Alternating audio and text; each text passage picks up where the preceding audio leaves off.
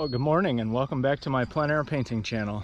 My name is Kyle Martin and we're standing out here in a field between Rock Springs and North Freedom, Wisconsin. Well, it's June Dairy Month and it's a celebration of our friends, the farmers. And a big part of a dairy operation is feeding the cattle. And one thing that you can feed your cows is hay. And I have a lot of experience baling hay. And we didn't make the round bales like what we're seeing right behind me we made square bales and stacked them onto a wagon and then unloaded them into the hay mow of the barn. And a lot of times we would bale and unload three or four, maybe even five wagons of hay in a day. And that's a lot of manual labor. First of all, you have to go out and cut the hay, let the hay lay for a while and dry out in the sun. Then you have to go back with a rake and rake the hay up into windrows. And then you have to come back and bale it.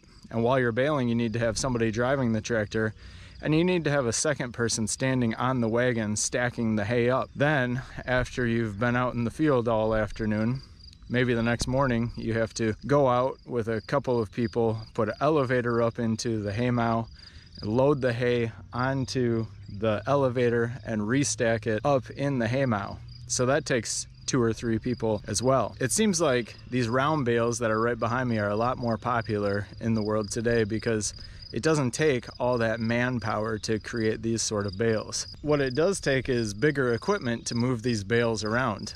You know, a regular hay bale maybe weighs 30, 40 pounds, but one of these, I'm not sure what it weighs, but one person can't obviously lift it on their own. I'm kind of thankful that these round bales are sitting out the, in the field today because it's given me a great subject to paint from.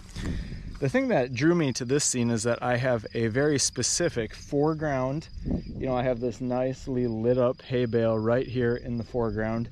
Then I have some middle ground. There's a hay bale way down towards that tree line, and that tree line could be considered middle ground. And then I have some atmospheric background. There's Ableman's Gorge back there, and I have I actually have a view of the co-op back there, although I don't know if that will be a part of my painting or not. So foreground, middle ground, background. Sometimes it's good to think about landscape painting in terms of showing atmosphere or distance. And I'm gonna be able to do that today. And one way to show distance is to have something in the foreground. So let's get started this morning. Just vlogging while the farmers are driving by and let's get this painting started.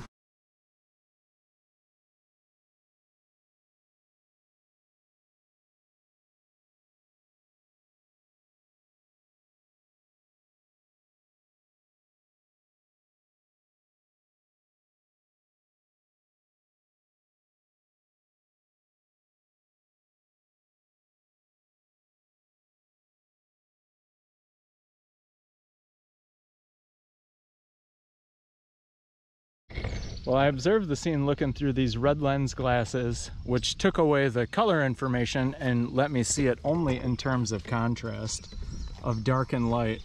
And this is the sketch that I made. And now that I have broken this scene down into its most simplified version, I think I really have an interesting subject to paint from, and I'm very excited to get going. You can see the lightest thing that I have is that lit up side of the hay bale out there and the sky the ground where the hay has been cut is the second lightest thing. These longer, the longer alfalfa or hay is a little bit darker than that. I'm sorry, I need a new set of markers you can't really see. Even the lit part of the trees are much darker than anything on the ground plane. And then we have some deep and dark shadows. For all those values and shapes that I just talked about, I'm really consolidating and compressing things down so that I have shapes to work with. I paint with shapes. I don't paint trees, I paint the shapes of the trees. And that's an interesting way to work. It's kind of my way of working. Everybody does things differently. And that style of painting kind of exists somewhere between abstract and realism. So let's get started on the canvas.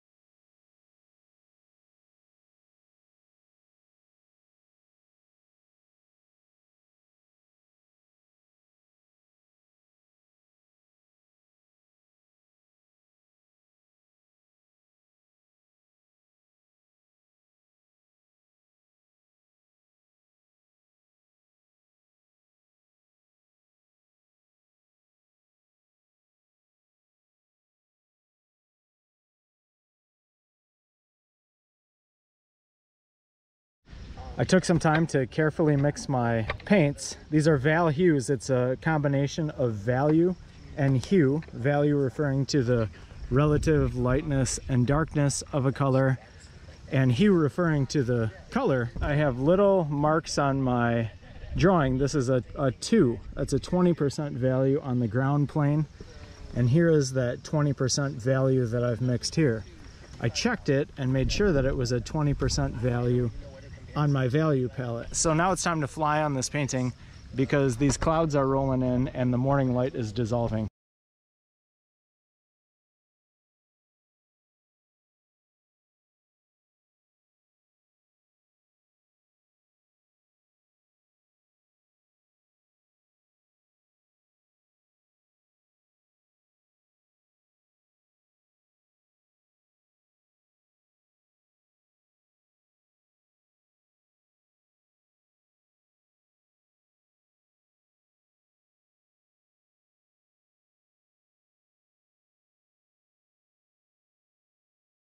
Friend of mine, John, just pulled up on his four-wheeler. He gave me two dozen eggs. He said he's got eggs coming out of his ears and I really appreciated him stopping by and saying hi. Boy, now we're gonna have eggs for a couple weeks here. And he said that they're unwashed and I think that what that means is that they can be non-refrigerated um, because they have not been washed. But, oh, there goes my umbrella. I'm just gonna keep working here. Okay, I'm getting to the point where my initial statement is on the canvas and now I need to repaint every area.